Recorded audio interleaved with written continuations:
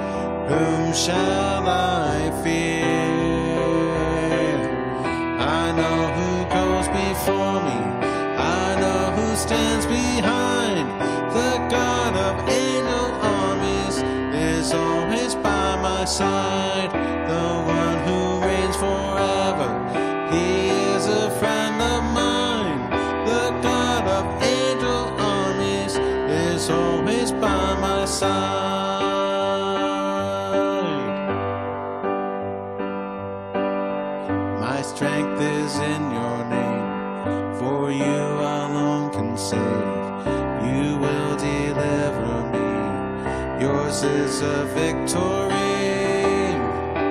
Whom shall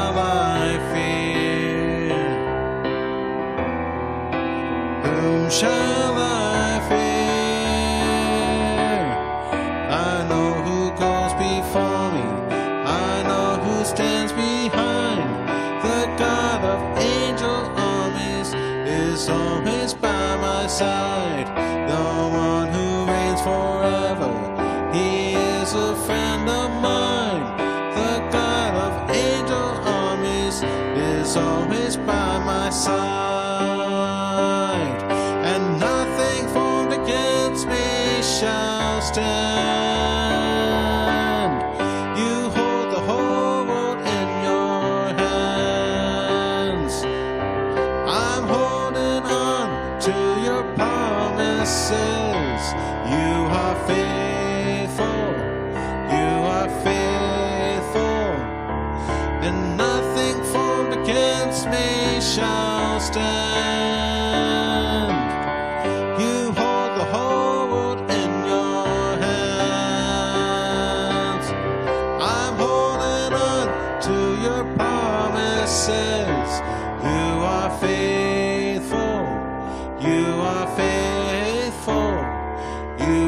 faithful.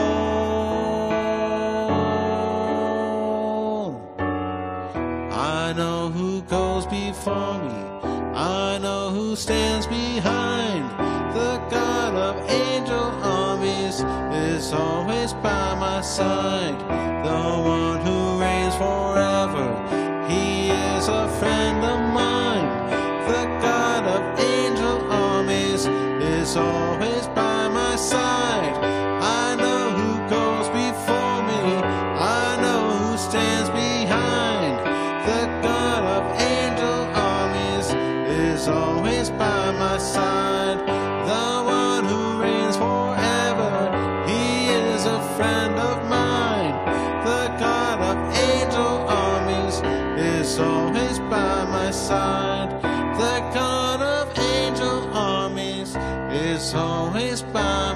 sun.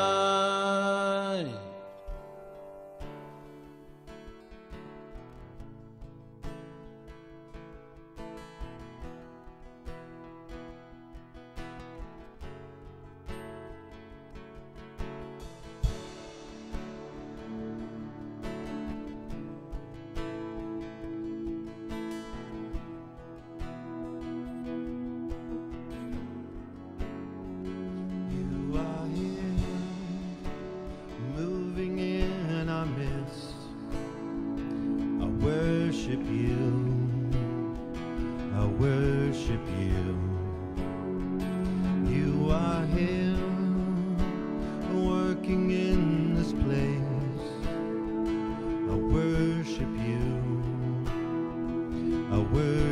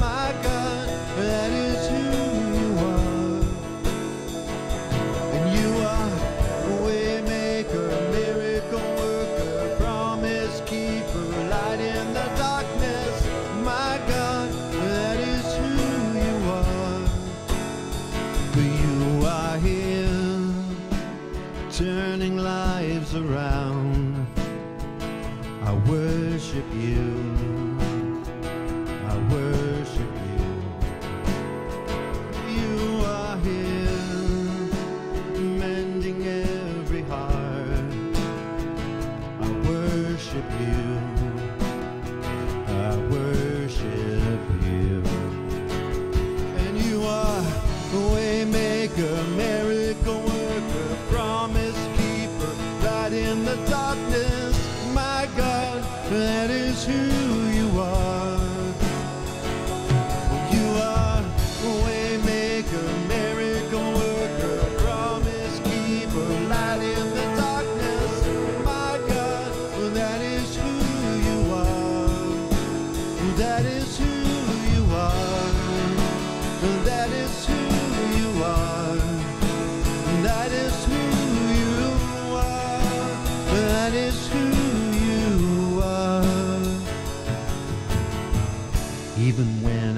See it, you're working. Even when I don't feel it, you're working. You never stop, you never stop working.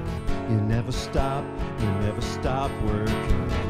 Even when I don't see it, you're working. Even when I don't feel it, you're working. You never stop, you never stop working. You never stop, you never stop working. Even when I don't see it, you're working.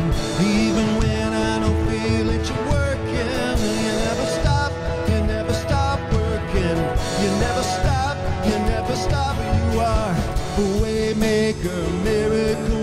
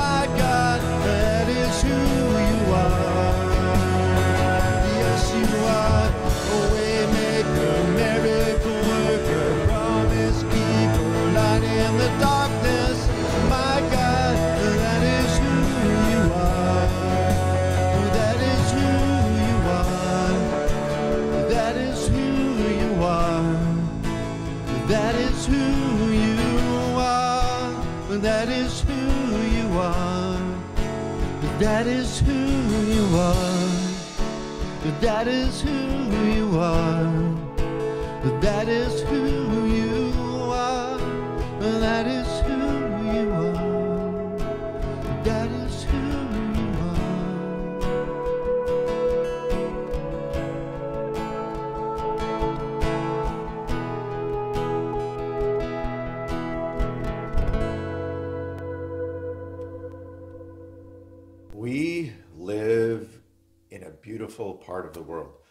If you are fortunate enough to live in Simcoe County, you have water, the world's longest freshwater beach in Wasaga Beach that you get to enjoy. You have Blue Mountain to ski on. You have flats that you can hike and uh, Wye Marsh and all kinds of features that allow us to enjoy creation.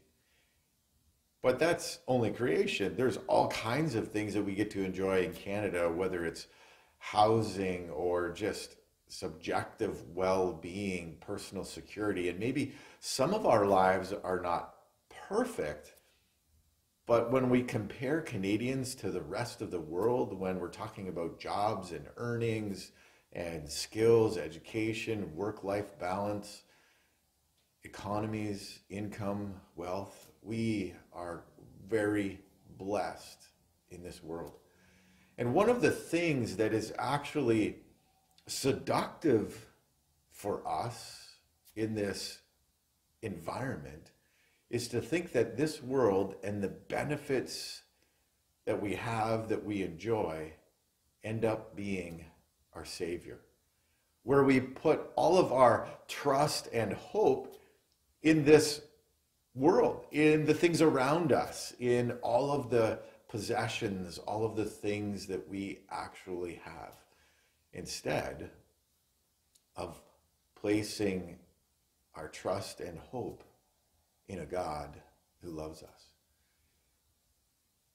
One of the things that we see in the book of Revelation is that there is a time that's coming where all of this world, systems, education, economies, rulers, everything that we see around us will actually be destroyed by God. As we've been going through the book of Revelation, we have seen these visions that God has given John about the things that are yet to take place.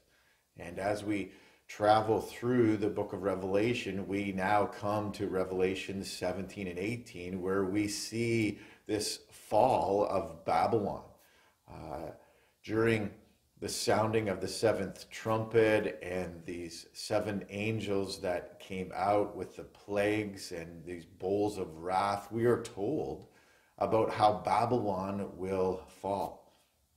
And as you read, read these passages, this, this mystery of Babylon, Babylon the Great, is to some of us a great mystery. And it is meant to be a mystery for those who were reading this, there were symbols and all kinds of things used to hide the true meaning in case this information fell into the hands of the wrong people and they would then be persecuted because of it. So let's just unpack chapters 17 and 18. I'm not going to read all of the chapter 17 and 18. I would encourage you uh, when uh, finish this that you just sit down and read both chapters and try and digest some of the things that we're talking about here. But what we see here is this, this moment where one of the angels who had one of the seven bowls comes to John and sort of takes John to this other location and he sees this woman sitting on a scarlet beast. Let's read verse 1 in chapter 17. It says, Then one of the seven angels who had the seven bowls came and said to me, Come, I will show you the judgment of the great prostitute who is seated on many waters, with whom the kings of the earth have committed sexual immorality, and with the wine of whose sexual immorality the dwellers on earth have become drunk. And he carried me away in the spirit into a wilderness. And I saw a woman sitting on a scarlet beast that was full of blasphemous names, and it had seven heads and ten horns. The woman was arrayed in purple and scarlet and adorned with gold and jewels and pearls, holding in her hand a golden cup full of abominations and the impurities of her sexual immorality. And on her forehead was written a name of mystery Babylon the Great, mother of prostitutes and of earth's abominations. And I saw the woman drunk with the blood of the saints, the blood of the martyrs of Jesus. Here we see this very vivid picture. And again, there's all kinds of symbolism that's here representing what John is trying to communicate, what this actually is. Well, we know from the description that this is a woman who is like a prostitute. Now, it doesn't give the name literally of this woman, it's this whole uh, metaphor for prostitution. And all throughout Scripture, we see God speaking to those who have uh, committed fornication or adultery with other things other than God.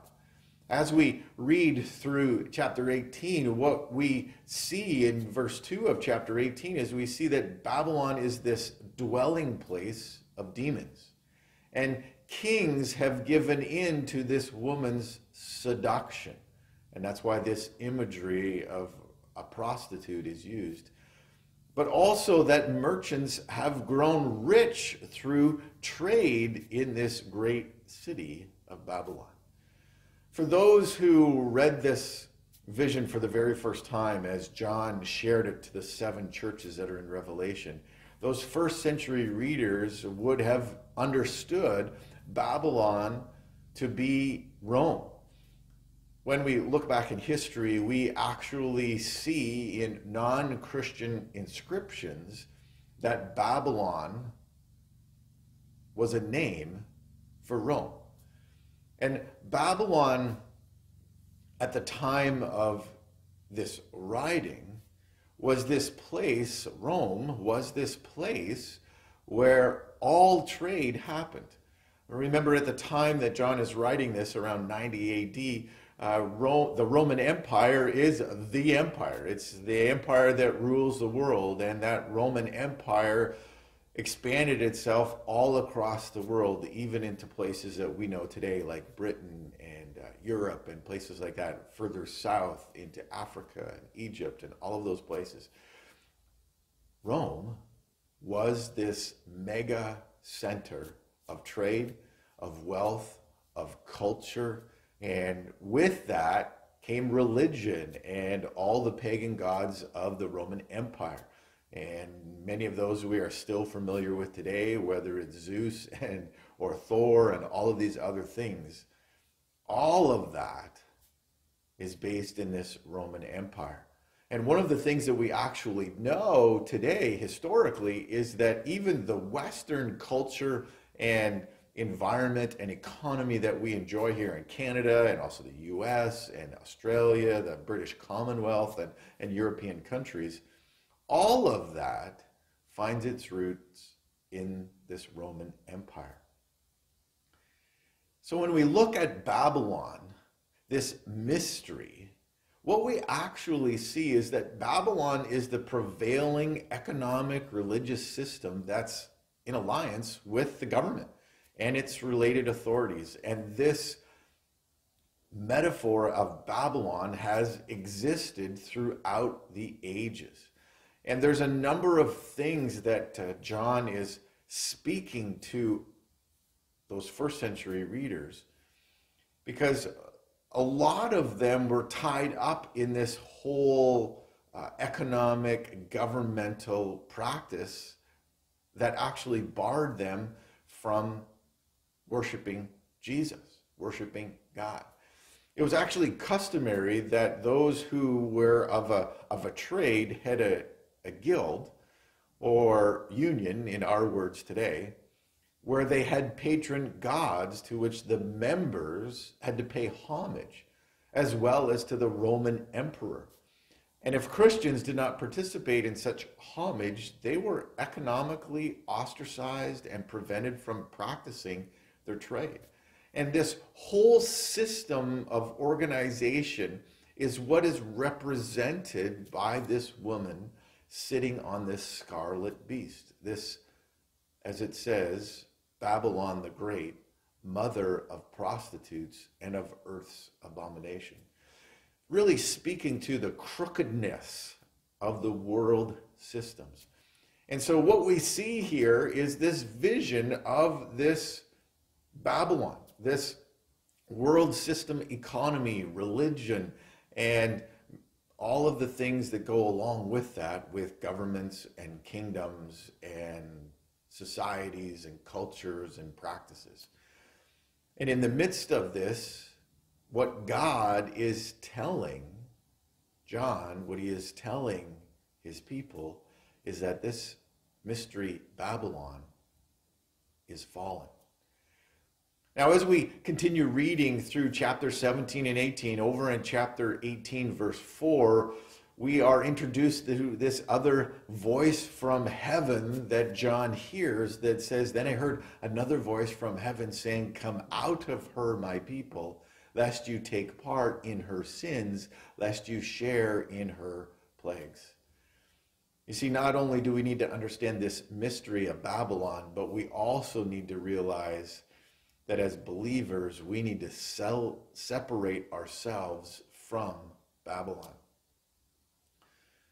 When this voice that it's announced from heaven says, Come out of her, my people.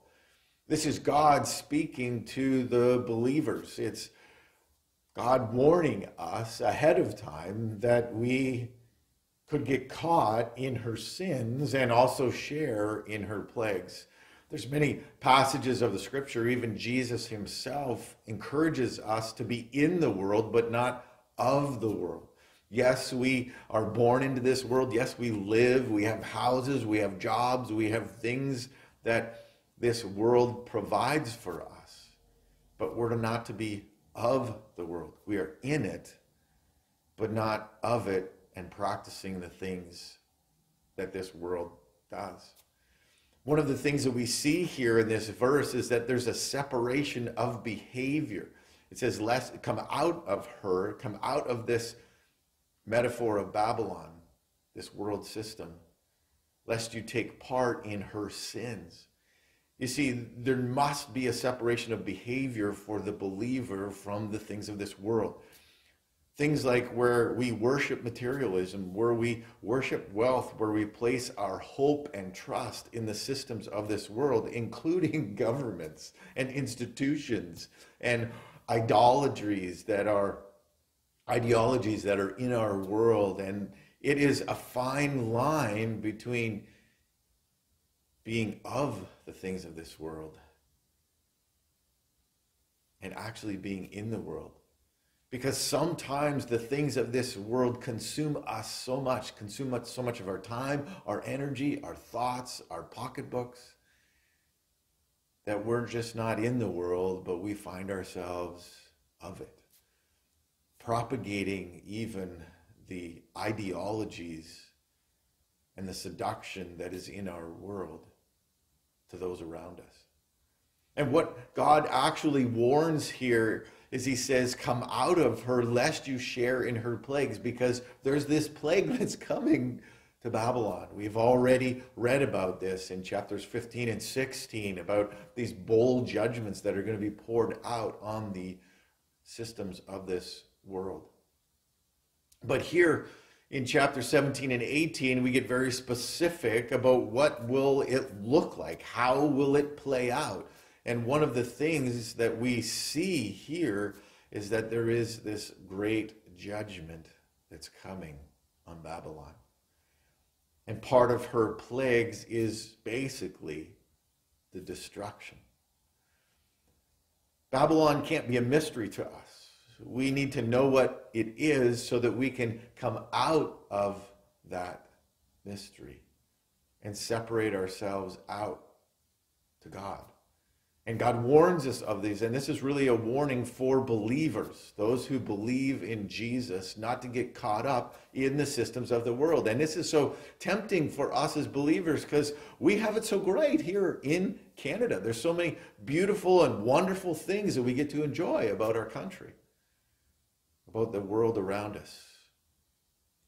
But we but may we never put our whole hope and trust in the systems of Canada, in the culture of Canada, in the economy of Canada. Because what we see here is that judgment is coming. As we look to Babylon and we understand that it's this uh, economic, religious system that is a part of the government and it, all of its related authorities, what we see in verse 5, it says, For her sins are heaped high as heaven, and God has remembered her iniquities. Pay her back as she herself has paid back others, and repay her double for her deeds. Mix a double portion for her in the cup she mixed. As she glorified herself and lived in luxury, so give her like measure of torment and mourning, since in her heart she says, I sit as queen, I am no widow, and mourning I shall never see. See, what we see here is that God will pay this Babylonian system back because the Babylonian sister is system is hurtful to others. There's a corruption that's in the world systems that people want to ignore and actually justify. This idea of an economy that is without destruction, that cannot be destroyed, or glorifies itself, saying that we're the best. And sometimes we don't actually say those words, but yes, we think them. And all of that is Babylon. And what we see here is that God is going to pay back Babylon, not just Babylon of Canada, but Babylon of the whole wide world. And it says in verse 8, For this reason her plagues will come in a single day death, mourning, and famine, and she will be burned up with fire. For mighty is the Lord God who has judged her. God will destroy the world economy, world religion, and all government systems. That, in some days, actually just saying that would be treason. At the time when John wrote this, and as God was revealing these visions to John, it was treason. It, it would get you into a lot of trouble, which is part of the reason why John was exiled on the island of Patmos. What we, what we see today is this talk of being Jesus, the King of Kings, where all kingdoms must submit and fall under the reign of the King Jesus, actually is met with a lot of resistance today. People call it a myth that God even exists. But what we see in Scripture and what we believe to be true is that every kingdom will bow to the King of Kings, Lord Jesus. And that doesn't exclude Canada and all of the political powers, all of the economy. And Canada, it does, it ranks high in standard of living around the world. But all of these things, all religions, will come to nothing because God is judging the systems of this world. So let us not put our hope and trust in the systems of this world because it's really not God's government. God's government is different. It starts with Jesus. We're told about that in Isaiah that the government shall be upon his shoulders. It's not our job as Christians to change the government to be in line with God. It's actually God's responsibility to rule and to reign. And as we're quickly going to find out in Revelation, that day is yet to come. This is really a warning for believers to not get caught up in this Babylonian system of our world. It's also an education for us to know that these things are there, to know that they are real. And yes, there is this metaphor of what it actually means to be in and of this world. But we need to take note that this the systems of this world, this Babylonian system, it will fall. And God will be glorified. And God will bring justice to bear on all the corruption that's ever happened in the world, all the lies that have ever happened in the world, all the injustice that has taken place within government corruption, within false deeds, within all of that. God will judge. So let us not be a part of the world system, but let us separate ourselves and worship Jesus as we wait for Him to set up His kingdom because He is the King of Kings. Let's pray. Dear Heavenly Father, we thank you for your word that instructs us, but actually also warns us in these times when we look around and we know in our hearts that the systems of this world are broken with the injustice that we even maybe have personally experienced, but that we see is out there. Lord, I pray that we as believers would not be caught in and of the systems of this world but that we would separate ourselves out, that we would be in this world, but not of the world. And Lord, that we would know that there's a day coming when you will make right all of the wrongs that have happened in this world. Lord, I pray for that day to come. And Lord, I pray also that we would have eyes to see this mystery, Babylon the Great and that we would not take part in the abominations,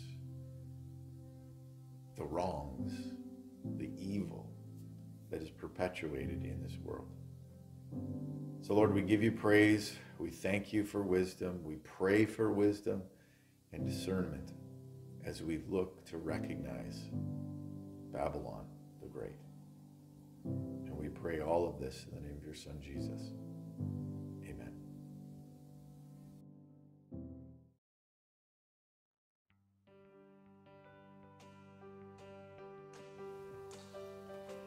It has been great to be together today. I hope you've enjoyed our time of worship and gathering, opening up God's Word. Know that you are loved by God and by those of us at Pinewoods Chapel. On the screen, there are some questions for you to think further about, about what we've been talking about today. And we will see you next week, if not before. God bless.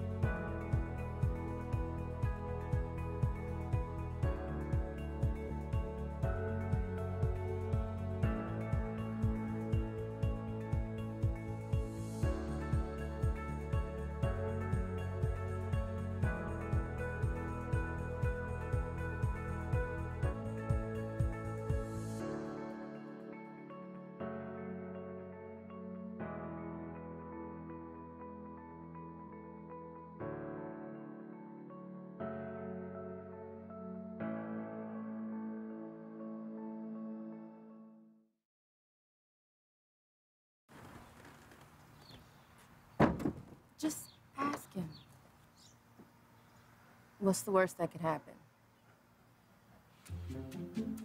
Hey, Jeff. I was wondering if you'd like to go to church with us sometime. I just thought. I just thought. Okay, okay, okay, okay, okay.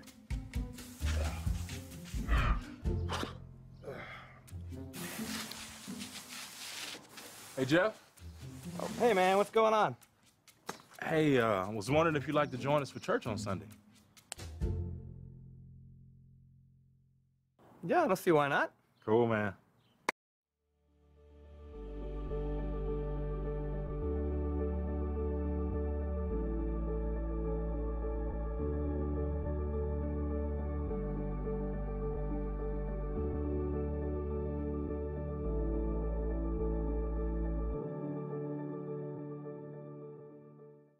Church. There's now a very important step you need to take to make sure you're not missing important church updates on Facebook. Just open up the Facebook app on your phone. Go to the church's page, click the like icon, then tap the three dots and tap the word following.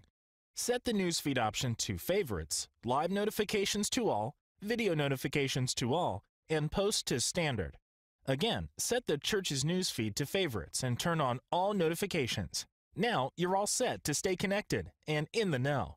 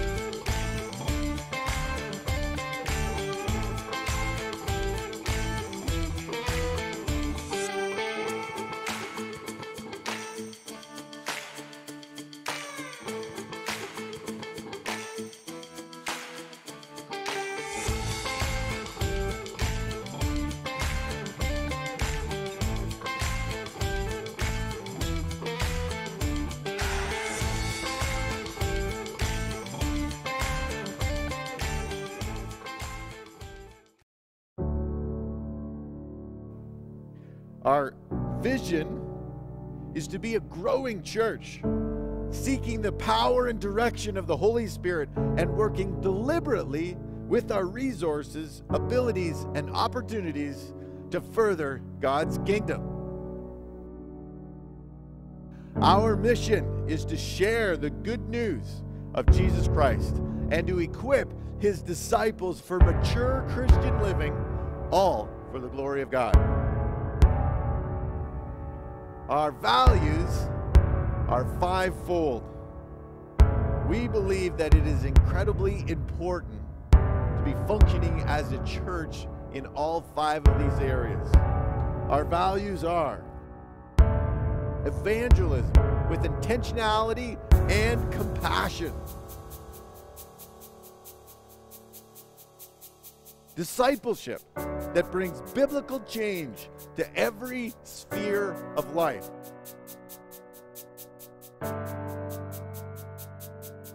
Worship that brings glory to God is engaging and compelling both to his people and to those who do not yet know him. Prayer that reflects confidence in the power of God. Community involvement that brings the wisdom of God to every human situation.